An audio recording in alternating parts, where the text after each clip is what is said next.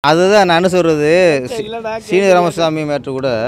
இ- இ- இதுவும் அதுதான். நாங்களே போய் ஒன்று சங்கம் வந்து வழியை போய் எது திருப்பி இது பண்ண முடியாது. அவங்க அம்சார் வந்து இந்த மாதிரி பண்ணுறாங்க சார். அப்படின்னா நம்ம அப்பா இங்கே கேட்கலாம். ரெண்டு பக்கமும் கேட்கலாம். சார் இல்லை அவங்க ரெடியா? டேரக்டர் அமீர் மீது வந்து நிறைய குற்றச்சாட்டு வச்சிருக்காரு. அதை எப்படி பார்க்குறீங்க அது எந்த அளவுக்கு ஆக்சுவலி இது வந்து இது நடந்து பல வருஷம் ஆகிப்போச்சு. போச்சு திரும்ப இந்த விஷயத்த நம்ம எடுத்து பேசணும் அவசியம் இல்லை.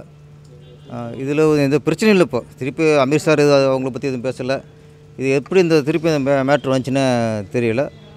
இது அப்படியே விட்டுக்கலாம் ஞானராஜன் இங்கேருந்து அவர் வந்து பெரிய ப்ரொடியூசர். இன்றைக்கி நிறைய படங்கள் பண்ணிக்கிட்டு இருக்காரு. அது மட்டும் இல்லை நிறைய சின்ன படங்களை வாங்கிலாம் ரிலீஸ் பண்ணுறாரு இன்றைக்கி தமிழ் திரையுலகில் ஞானராஜான்ற ப்ரொடியூசருங்கிறது மிகப்பெரிய ஒரு பலம். அதே தவிர அதே மாதிரி இப்போ பா ரஞ்சித்து இந்த மாதிரி சின்ன சின்ன படங்கள் எடுத்து ரிலீஸ் பண்ணி பெருசாக கொண்டு வந்திருக்காரு. அமீர் இவங்க பிரச்சனை வந்து பருத்திவரன் ரிலீஸப்பே வந்துச்சு.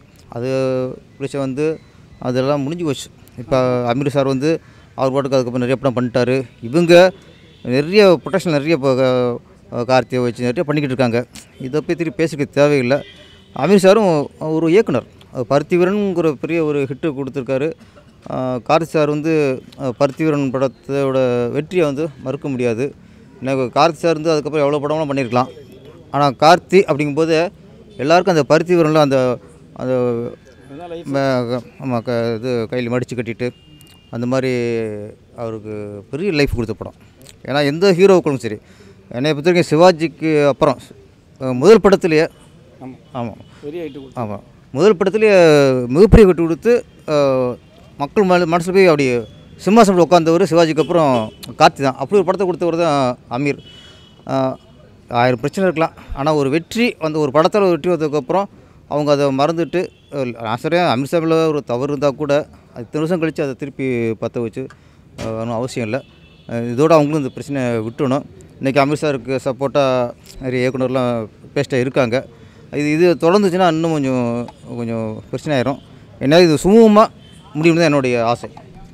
டேரக்டர் யூனியன் சார்பாக இதுக்கு அகைன்ஸ்டாக எதனா இல்லை இல்லை இப்போ இயக்குனர் சங்கங்கிறது இயக்குனர் சங்கங்கிறது நடிச்சதை பேச முடியாது. ஏன்னா அமீர் சார் வந்து இந்த மாதிரி நடக்குது அப்படின்னு அவர் ஒரு ஒரு புகாராக கொடுக்கணும். நாங்களே போய் ஒன்று சங்கம் வந்து வழியை போய் எது திருப்பி இது பண்ண முடியாது. அவங்க அமீர் சார் வந்து இந்த மாதிரி பண்ணுறாங்க சார் அப்படின்னா நம்ம அப்பா இங்கே கேட்கலாம் ரெண்டு பக்கமும் கேட்கலாம். இப்போ அமீர் சார் சைட்லேயும் அந்த பக்கம் எங்கள் சைடில் ஒன்றும் அவர் சொல்லலை. இன்னொன்று அமீர் சார் இது சம்மந்தமாக இந்த பேட்டியும் கொடுத்த மாதிரி தெரில அந்த இது கார்த்தி டுவெண்ட்டி ஃபைவ்ல வந்து கேட்டதுக்கு நீங்கள் போகணுன்னு கேட்டதுக்கு அவங்க கூப்பிடல நான் போகல அப்படின்னு முடிச்சிட்டார். இது வே வேறு முக்கியமாக தான் அந்த மாதிரி வந்திருக்கு. அதனால் சங்கம் வந்து வாலண்டியர் பகுதியில் நுழைஞ்சா அது ஒரு சிக்கலாயிரும். அந்த வார்த்தை தவறு. ஏன்னா ஒரு இயக்குனர் அவர் இன்றைக்கி சமூகத்தில் ஒரு அவர் ஒரு ஒரு விஐபி இன்றைக்கி சமூகத்தில் அறியப்பட்ட ஒரு இயக்குனர் இன்னொன்று பருத்திவரன் ஒரு படத்தை கொடுத்து மிக ஓடின படம். ஆமா, ஓடின படம். அறிமுகப்படுத்துனது நிறைய ஓடுறதில்ல. நிறைய விருதுகள் வாங்கியிருக்கு படம். ஒரு ஒரு பேசுகிறேன் விருதுகள் வாங்கியிருக்கு. அதே சமயம் பருத்திவரன் படத்துக்கு தான் பத்திர பத்திரிகையாளர்லாம் சேர்ந்து ஒரு விழா எடுத்தாங்க பாராட்டு விழா. வேறு எந்த படத்துக்கும் எடுக்கல. எவ்வளோ பெரிய ஒரு ஒரு அவருக்கு ஒரு பெரிய பெருமை அது. அது மாதிரி அவர் அப்படி ஒருத்தர் போய் டக்குன்னு திருடுங்கிற வார்த்தை எப்படி யூஸ் பண்ணான்னு தெரியல. அந்த வார்த்தையை அவர் தவிர்த்துக்கலாம். அது பிரச்சனைகளை சொல்லியிருக்கலாம். திருடுங்கிற வார்த்தையை தவிர்த்துக்கலாம். தப்பு பண்ணாலுமே தயாரிப்பாளர்கிட்ட அனுசரித்து போகணும்னு நினைக்கிறீங்களா சார்? எது? இப்போ ஞானவேல் ராஜா பேசின வார்த்தைகளோ இன்டர்வியூவில் சொன்ன வார்த்தைகளோ எல்லாமே தப்பான வார்த்தைகள். அது பொது வெளியில் சொன்னார். அது என்னதான் இருந்தாலும் விடணும்னு சொல்கிறது பேசுறது பார்த்தா நீங்கள் அனுசரித்து போகணுன்ற மாதிரி தான் இருக்கு. அனுசரிச்சுன்னு நான் சொல்லலையே.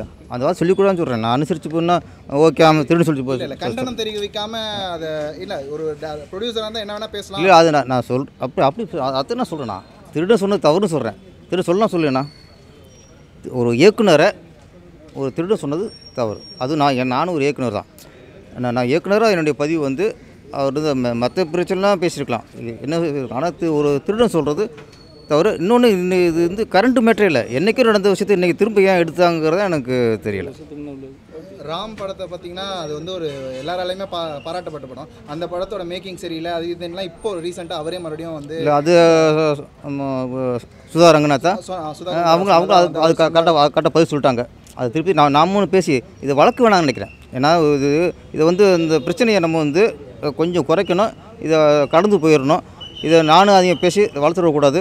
என்னை பொறுத்த வரைக்கும் ஞான சார் இந்த பேட்டியை கொஞ்சம் தவிர்த்துக்கலாம் அவ்வளோதான் சார் இப்போ இது வந்து சூர்யா கார்த்தி வந்து இது பதில் சொல்லலாம் அவங்க பதில் சொன்னால் இந்த பிரச்சனை முடிஞ்சிடும் அப்படின்றாங்க அதை வச்சு நீங்க- இல்லை அவங்க பதில் சொல்லணும் அவங்க இப்போ சமுத்திரக்கண் சார் நம்ம கண்ணந்து வச்சுருக்காரு அது மாதிரி சசிகுமார் சாரும் ஒரு பதிவு போட்டிருக்காரு. என்னை பொறுத்த வரைக்கும் நான் திருப்பி அவங்கள வந்து பதிவு ஏன்னா அவங்க சூரிய சார் சொன்ன அவசியம் இல்லை. சிவகுமார் சொல்லணும் அவசியம் இல்லை. இதில் நடித்தவர் கார்த்திக் சார். நம்ம அவர்கிட்ட ஒரு பதில் எதிர்பார்க்கலாம். நம்ம சூரிய சார் அவங்க குடும்பத்தையும் எழு கார்த்திக் சார் வந்து அவர் ஒரு பதில் சொல்லிட்டு அவங்க முடிஞ்சு சார் சிவகார்த்திகேயன் வந்து இதே ப்ரொடியூசர் மேலே தான் குற்றச்சாட்டு வச்சார் அன்னைக்கு. அதனால தான் அவர் பிரச்சனை அழுதாரு. இப்போ வந்து இவர் ஒரு பெரிய டேரக்டராக இந்த அளவுக்கு பேசியிருக்காரு. சில நடிகர்கள் மிரட்டுறாரு. கட்ட பஞ்சாயத்து பண்ணுறாருலாம் அவர் மேலே குற்றச்சாட்டு வருது. ஒரு இயக்குனர் சங்கத்தில் வந்து நீங்கள் என்ன இல்லை குறை சொல்லலாம் சார். இப்போ யார் யார் யாரை மிரட்டினார்? அமீர் சார் யாரை மிரட்டினார்? அமீர் சார் இல்லை. ஞானவேல் ராஜா சார் வந்து மிரட்டினா நிறைய இடத்துல அது கேள்விப்படுறது தான் இப்போ அமீர் சார் வந்து அவர் கொஞ்சம் வெளிப்படையாக பேசினார் அன்றைக்கி இன்றைக்கி யாரும் அது மாதிரி ஒரு மிரட்டுற மாதிரி யாரும் சொல்லலையே? இல்லை அது நம்ம யூகத்துக்குலாம் முடியாது. இப்போ ஒரு இயக்குனர் வந்து என்ன மிரட்டணும் சொன்னார்னா இப்போ சொல் அமீர் சொல்கிறீங்க அதுக்கு நான் பதில் சொல்லலாம். யூகத்தில் போய் சொல்ல முடியாதுல்ல ஓகே? ஓகே நன்றி நன்றி நன்றி நன்றி. இப்போ அதுதான் நான் என்ன சொல்கிறது இல்லடா, சீனி ராமசாமி மேட்ரு கூட இ- இ- பயங்கர இதுவும் அதுதான். இது பழைய மேட்டு அது. இப்போ அதை சொல்கிறேன் பிரச்சனை எதுவுமே இல்லைன்னா ஏதாவது பழசை கிளப்பி பரபரப்பாக்கிறது. இது வந்து சினிமாவுக்குள்ளே சினிமாவுக்குள்ளேயே இருக்கவங்க சிலர் வந்து அதை அதை பற்றி பேசி பெருசு பண்ணிடுறாங்க. எப்போ நடந்த விஷயம்? இப்போ இன்றைக்கி நடந்திருக்குன்னா ஓகே அது நடந்த விஷயமா தெரில எப்போ நடந்த பிர- பிர- பிரச்சனை? இல்லை இல்லை இல்லை இல்லை எப்போ அதான் பழைய பிரச்சனை கூட அது உண்மைன்னு யார் சொல்கிறது அது நடந்துச்சா நடக்கலையா? அந்த ஏற்கனவே முடிஞ்சு அவர் வந்து அந்த பொண்ணுக்கு சரியாக நான் அவர் சொன்னது நிறைய டேக் எடுத்தாங்க. நிறைய படத்தில் தூக்கியிருக்காங்க. நிறைய நடிகர்கள் வந்து ஒரு நாலு சீன் நடிச்சுலாம் நிறைய பேர் தூக்கியிருக்காங்க.